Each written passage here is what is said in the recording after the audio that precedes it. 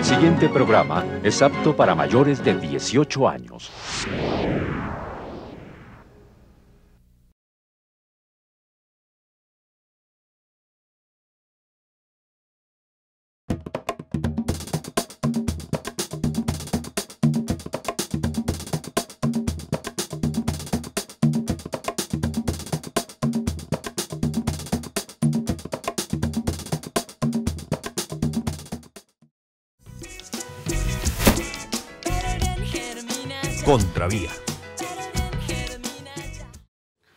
Bienvenidos y bienvenidas a Contravía. Hoy tenemos el gusto de presentarles y de entrevistar al nuevo embajador de Francia en Colombia, al señor Jean-Michel Marlou. Hace apenas un mes se acaba, acaba de llegar a Colombia, hace unas semanas le acaban de dar credenciales y empieza así su trabajo, un trabajo pues que tiene unos temas delicados de por medio como el secuestro de la colombo-francesa Ingrid Betancourt, pero también otros temas muy importantes como las relaciones económicas entre Francia y Colombia.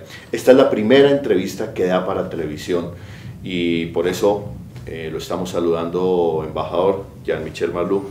Bienvenido y gracias por estar en Contravía. Gracias y buenas noches a todos.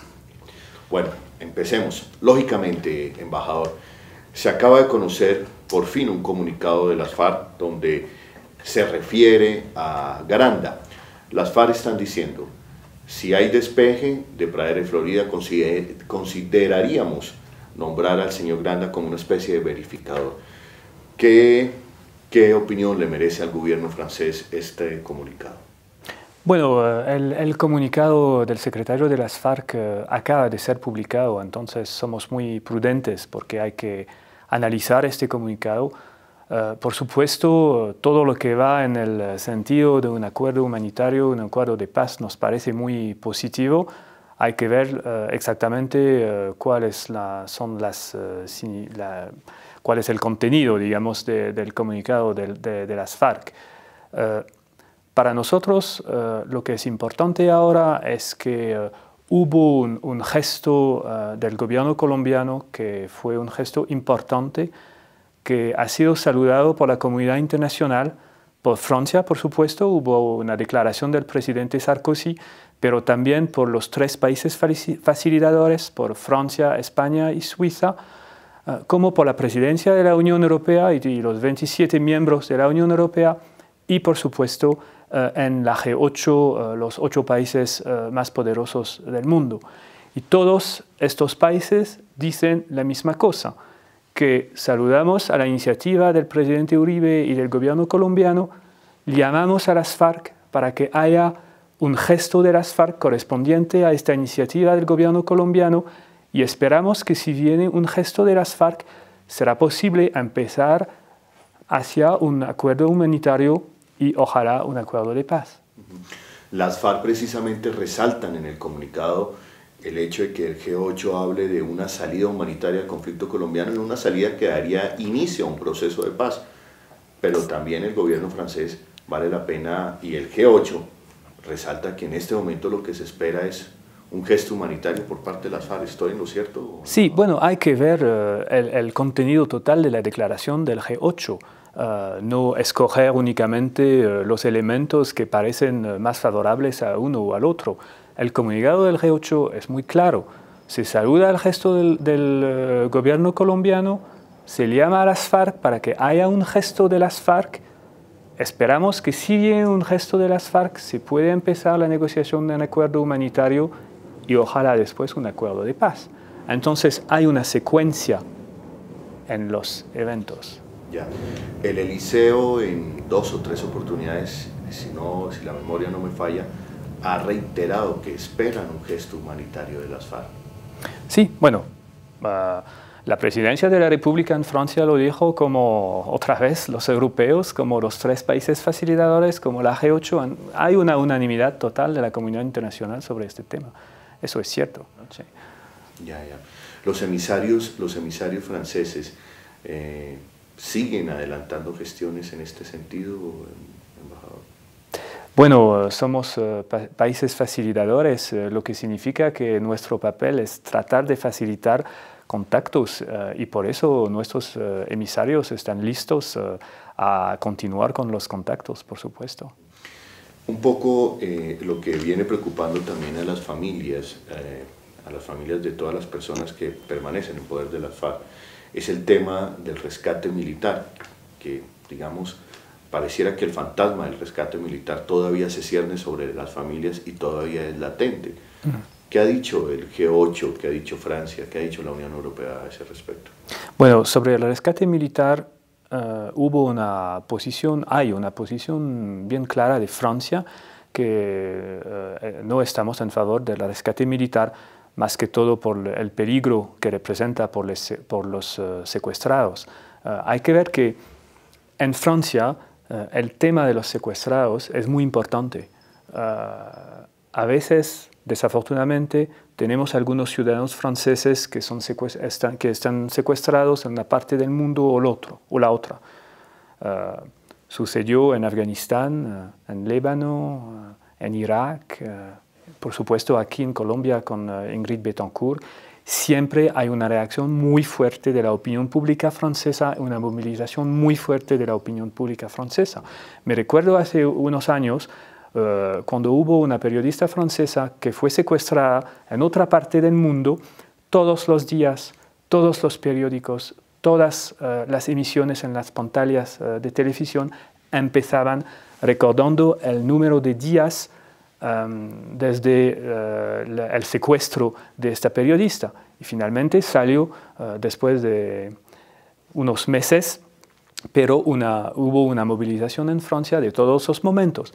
Por eso tenemos ahora también esta movilización, este movimiento a favor de Ingrid Betancourt, quien es la ciudadana francesa que ha sido secuestrada por el tiempo más largo eh, de la historia. Eh, y por eso eh, hay esta movilización de la opinión francesa y por supuesto la opinión francesa está opuesta a cada iniciativa que puede poner en, riesgo la vida de, Ingrid Betancourt. Lo que quisiera decir también es que, por supuesto, esta movilización francesa empezó con Ingrid Betancourt porque ella tiene la ciudadana francesa como la ciudadana colombiana, pero todos eh, los comités que encontré antes de llegar a Colombia me dijeron que eh, empezando con Ingrid Betancourt. Ingrid Betancourt, siguiendo siendo la bandera de los comités, no se olvidan tampoco de los otros secuestrados y de todas las víctimas eh, del conflicto en Colombia. Eh, sáqueme una duda, embajador. La opinión pública en este momento es más, eh, la opinión pública francesa, cada vez hay más periodistas franceses viniendo a Colombia, es más sensible hoy a este punto. Eh, me refiero a la posibilidad, a, negar toda posibilidad de rescate militar, ¿no es cierto? Uh, lo que es cierto es que hay un interés de parte de la, de, la, prensa francesa hacia Colombia y el tema de los secuestrados que es muy, uh, mucho más importante hoy que hace un mes o dos meses, eh, incluso yo diría. Hemos visto un número de periodistas franceses aquí en Colombia y empezamos a ver los artículos ah, publicados en, la prensa francesa.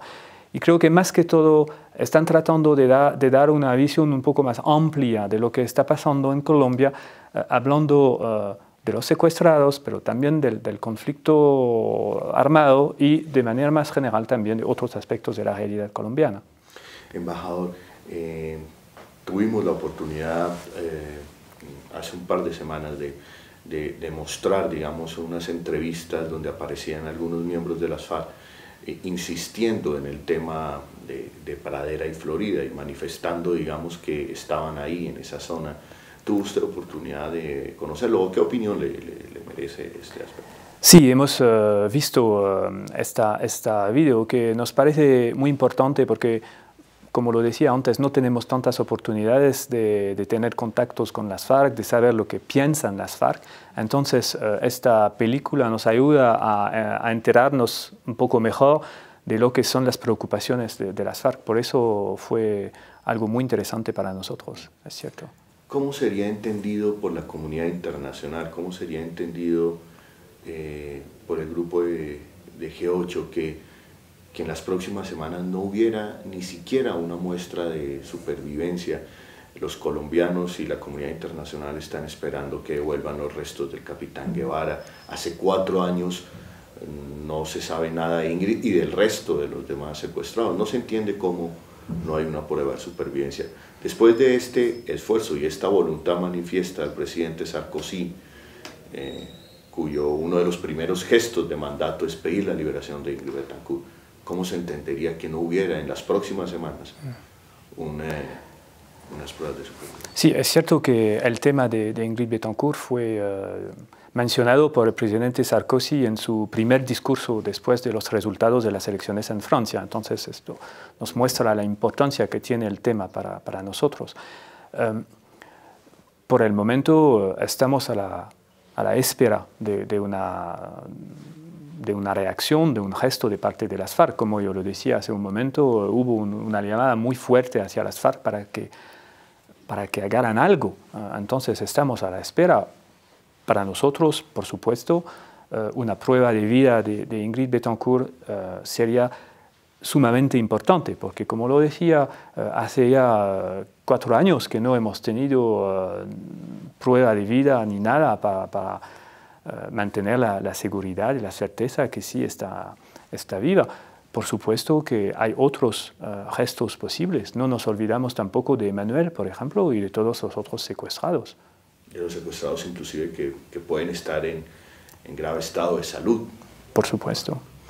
Bueno, si bien es cierto el tema de los secuestrados, el tema de Ingrid Betancourt, digamos, en la agenda de las relaciones colombo-francesas ha ocupado, ocupa un primer lugar, también es cierto que la agenda comercial eh, es muy importante entre Colombia y Francia. Solamente quiero darles la siguiente cifra. Empresas francesas en Colombia están generando 50.000 empleos directos. Es quizás Francia el primer empleador, eh, de, eh, el primer país extranjero eh, y primer empleador de ciudadanos colombianos en nuestro país. ¿Es eso cierto? Uh, que yo sepa, sí, porque además de las 50.000 empleos directos, también hay 100.000 empleos uh, indirectos. Uh, generados por las 120 empresas francesas que están presentes en, en Colombia. De, eh, ¿Cuál es la importancia de la agenda comercial entre Colombia y Francia? Bueno, hay varios, hay, varios aspectos. Uh, primero, creo que si las empresas uh, francesas uh, tienen un interés hacia Colombia, es por razones objetivas. primero, Colombia es uno de los países más poblados en América Latina, también uno de los países más poblados de los países hispa hispanohablantes. Eh, también es un, uno de los países que tuvo la tasa de crecimiento más uh, regular desde hace 70 años. Uh, y Colombia también es un país que nunca ha renegociado su deuda. Entonces es un, país muy fiable para, las empresas. Y me parece que las empresas uh, francesas lo han entendido. tenemos un comercio bilateral que está creciendo, 2005 eh, el total de los intercambios entre Colombia y Francia era de más o menos 550 millones de euros. Uh, en 2006, uh, 650 millones de euros. Entonces hay una tasa de crecimiento muy alta en los intercambios comerciales entre los dos países. Pero tal vez más importante aún es el hecho de que las empresas francesas están invirtiendo en Colombia, generando empleo, actividad económica en Colombia. Los, uh, las inversiones uh, más recientes son la de Carrefour, por supuesto, que se está desarrollando muy rápidamente, y también de otra cadena de hipermercados franceses que se llama Casino, que ahora tiene la mayoría dentro de éxito. Pero además de, del, del, comercio, de, de, los hipermercados, también hay en la industria automóvil, por ejemplo, Renault uh, representa más o menos 18% del mercado colombiano uh, y muchas otras empresas en, en todas uh, áreas. ahora lo que queremos hacer es mandar o atraer más empresas francesas hacia Colombia. Por eso vino una misión empresarial uh, en marzo de empresarios franceses a ver lo que se podía hacer uh, más en Colombia. Vamos a tener una presencia muy importante en uh, AgroExpo en el mes de julio aquí en Bogotá con muchas empresas de, de, este tema de la agricultura, de la, de la ganadera en, en el mes que viene y por supuesto en octubre vamos a tener no solamente en Bogotá, sino en cinco o seis eh, ciudades de, Colombia, lo que llamamos la Semana de Francia en Colombia, que es una buena oportunidad de mostrar lo que son las tecnologías francesas al público colombiano. Eso de, digamos, inversiones francesas en, territorio francés. ¿Y eh, eh, hay algún mercado de exportaciones colombianas que esté, que esté llegando a Francia? Que, Ah, sí, por supuesto. Ah, bueno, por supuesto que el café colombiano está muy bien conocido en Francia como, como en, en, cualquier parte del mundo, yo diría, ah, pero también hay una actividad muy importante ah, que es la exportación de, de, flores, que Colombia es uno de los primeros exportadores de flores en el mundo.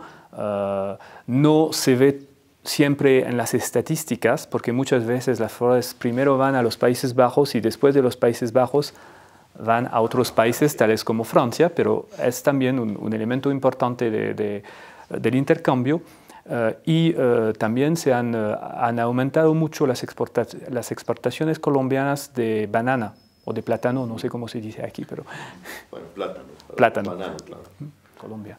Tiene presente, embajador, recuerda cómo es este sistema de becas, posibilidades para estudiantes colombianos, para los estudiantes que posiblemente nos estén viendo sí, quieran ir a estudiar a Francia. Hay, hay uh, una organización uh, que se llama Campus France, Campus por la universidad y France, Francia, uh, que se puede, con la cual se puede conectar por internet, o sino que está en la sede de la Alianza Francesa aquí en, en, Bogotá, donde se puede primero recibió toda la información sobre el sistema de estudios en Francia y también inscribirse en universidades francesas y después hasta hacer los trámites para las visas. Entonces es eh, por este Campus France que hay que ir por, uh, por ese, ese, canal para llegar, ese canal, sí, para llegar a Francia. Eh, si quieren mm. estudiar o hacer alguna especialización en Francia. Ahora también uno nota, embajador, cómo la Unión Europea eh, cómo el Pacífico se ha convertido en un tema importante para la Unión Europea, no solamente Francia, sino para todo el conglomerado de la Unión Europea, abrir canales comerciales por el Pacífico. Y tengo entendido que eh, eh, precisamente la CAN con, eh, con la Unión Europea ha cerrado algunos acuerdos importantes en esa vía, en explorar el Pacífico mm. comercialmente. Bueno, es un tema muy importante para nosotros porque la Unión Europea tiene relaciones con la Comunidad Andina de Naciones desde hace ya mucho tiempo, pero el elemento nuevo ahora es que eh, hay un interés, creo, de todos los países en el mundo por los nuevos mercados que se están desarrollando en el Pacífico, en Asia, China, India, Corea del Sur, y por eso es muy importante mejorar el nivel de relación entre la CAN y la Unión Europea, porque si no, la Unión Europea va a continuar dando la prioridad a otras regiones del mundo y hay un peligro de que la CAN eh, se quede un poco atrás. Y estamos ahora eh, en un momento muy interesante Primero porque, eh, bueno, porque hubo una, una cumbre eh, la semana pasada en Tarija, Bolivia, y ahí se tomaron dos decisiones. La primera fue empezar la negociación de un tratado de libre comercio entre la CAN y la Unión Europea. Entonces ahora sí estamos empezando esta negociación. Y la segunda cosa es que desde Tarija es Colombia que tiene la presidencia de la CAN por un año, lo que significa que esta negociación, más que todo, Colombia va a tener un papel eh, muy importante en la negociación. Embajador, hemos hablado hasta este momento del intercambio estudiantil, intercambio comercial, pero también, eh, bueno, la actividad cultural que promueve la Embajada de Francia en Colombia es constante, el, el ciclo de cine francés, exposiciones de eh, traer empresas de teatro francesas, bueno, en fin. ¿Cuál es la agenda cultural con la llegada suya. sí. Bueno, creo que, creo que en, nuestra relación cultural hay, tres aspectos. Eh, primero, lo más conocido, yo diría que sería atraer eh, artistas franceses eh, y organizar eventos culturales franceses en, Colombia, como se hace con el Festival de Cine, como, como estaba mencionando. También estamos trabajando para que Colombia esté mejor conocida en, Francia. Eh, y, por ejemplo, el año que viene eh, hay un teatro en París que se llama la Maison de Culture du Monde, la Casa de las Culturas del Mundo, que cada año organiza un festival que se llama el Festival del Imaginario y el año que viene Colombia será el huésped de honor eh, de, esta, de este Festival del Imaginario. Y más importante aún, 2010-2011 será el año de América Latina en Francia. Significa que durante todo el año vamos a organizar un montón de eventos en todas uh, las áreas de la cultura para que el público francés sepa más sobre las culturas de América Latina. Y esperamos que Colombia aproveche este año de la América Latina para que los franceses conozcan mejor la realidad colombiana. El tercer aspecto es no únicamente presentar a los franceses en Colombia, presentar a los colombianos en Francia, sino trabajar juntos para tener proyectos juntos. Eh, por ejemplo, eh, eh, esta semana se organizó la, la, Fiesta de la Música, que fue una iniciativa francesa desde hace ya 20 años, que está promovida aquí por la Alianza Francesa, pero no es un evento francés en Colombia, sino que ahora se ha vuelto como un evento colombiano y franco-colombiano. Y también uh, llegué hace poco, entonces me fui a visitar las, las alianzas francesas y he visto que cada una uh, tiene su programa de apoyo a los jóvenes artistas colombianos y creo, creo que realmente es el, el papel de una institución de este tipo realmente de tratar de organizar proyectos comunes. Uh, uno uh, de los uh, eventos más comentados ahora en, en París es una obra de teatro en la Comédie Française, cual director es un colombiano, por ejemplo. Se acaba de ganar un premio, entonces. Sí, además. Eh, hablando de las alianzas colombo-francesas, uno recorre el país y casi en todas las capitales importantes del país hay alianzas colombo-francesas. Uh, tenemos 11 alianzas francesas uh, en, o colombo-francesas uh, en Colombia por el momento, la más importante de lejos siendo la de, de, Bogotá, que es la segunda en el mundo. ¿Y, ¿Y esto a qué se debe, embajador?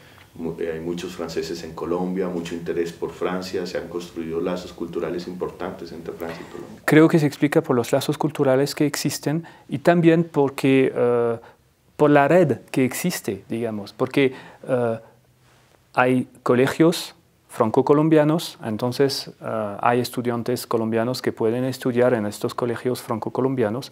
Hay una red de alianzas francesas, entonces si uno quiere continuar con el francés, sí se puede gracias a las, alianzas francesas y hay este, esta ventana hacia Francia para continuar los estudios en Francia que también es un elemento importante, que va a ser más importante aún en el futuro, porque acabamos de organizar un seminario sobre la doble uh, titulación en, entre las universidades colombianas y las universidades francesas, para que alguien siguiendo estudios en Francia y en Colombia pueda tener los uh, diplomas de las dos universidades.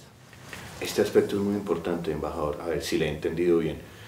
La persona que se gradúe con un título universitario en Colombia puede hacerlo válido como profesional en Francia? Bueno, hay varias posibilidades. Por ejemplo, uno puede seguir, eh, digamos, eh, tres años de estudios aquí en, eh, en, una universidad colombiana. De los tres años de estudios, hay un año que se hace en Francia. El año que se hace en Francia está validado uh, por los estudios en, en Colombia, por ejemplo. Y al final se da el diploma colombiano, pero también el diploma francés.